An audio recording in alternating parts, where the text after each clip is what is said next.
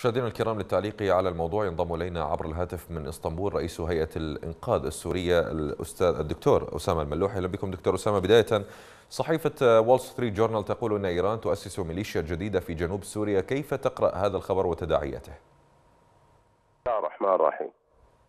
يعني إيران هناك حملة أمريكية نظنها يعني كاذبة ومبالغ فيها ضد إيران فهي تضغط باتجاه إعلامي ربما لقصقصة أجنحة إيران في سوريا.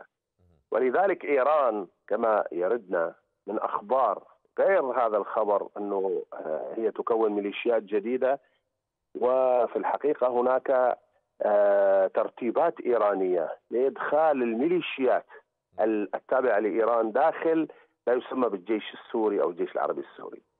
بملابس عسكرية سورية وبتجنيس وبترتيبات كثيرة جدا فيها التوطين أيضا لهؤلاء لذلك لماذا هذا التوقيت بالتحديد لتأسيس الميليشيا؟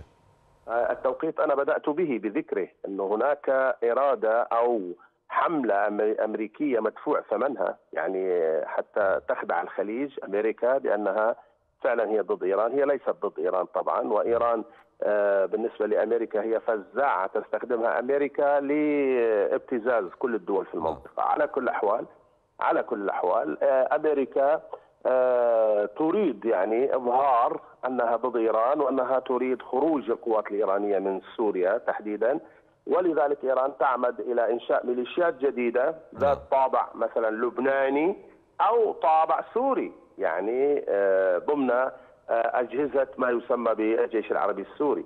فستكون ضمن الجيش العربي السوري يعني في النهاية. إذا كان الأمر يعني كذلك كما تفضلت هل تعتقد أن روسيا يمكن أن تدخل على الخط لا سيما بعد الأنباء التي تتحدث عن اعتراض مقاتله روسية لمقاتلتين أمريكية وفرنسية؟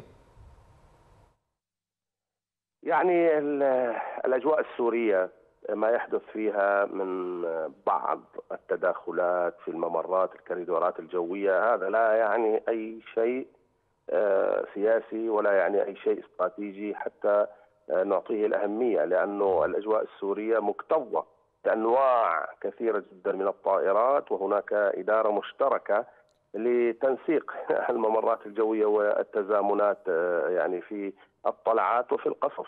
لذلك هذا الأمر ليس بالأمر الهام. هناك أمر لا بد للمشاهد أن يعلمه أن أمريكا هي التي تدير فعلا الملف السوري نعم. هي التي أعطت الفرصة لروسيا لتلعب دور الشرطي القذر. وهناك تفاهمات روسية أمريكية مستمرة بل يومية وأيضا أمريكا التي أعطت الدور لإيران منذ البداية. ولو أرادت أمريكا فعلا خروج إيران من سوريا لأعطتها مهلة. 48 ساعة تجد كل الميليشيات قد غادرت. طيب أنت تحدثنا عن روسيا قليلا دكتور أسامة. هناك حديث أن بوتين يسعى إلى سحب الدعم الأوروبي من أجل ما يسمى بإعادة إعمار سوريا.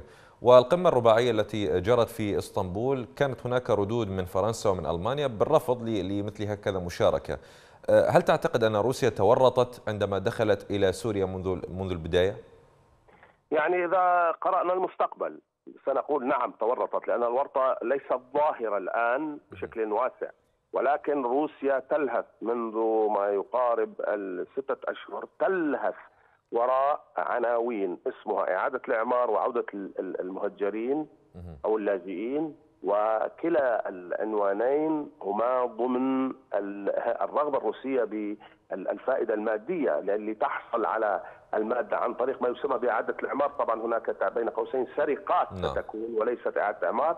وعودة اللاجئين أيضا تحتاج إلى أموال طائلة فهي تعزف على الوترين من أجل أوروبا تحديدا. أوروبا التي أعطت إشارات أنها ستمول مثل ذلك إذا ولها شروط وإلى ما هنالك. ولكن إلى الآن الرغبة الروسية لم تتحقق نعم. وهي تلهث وراء ذلك باستمرار.